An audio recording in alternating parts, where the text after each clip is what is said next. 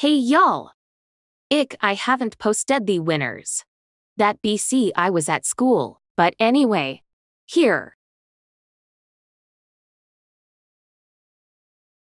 And if you didn't win, now is not the time to cry.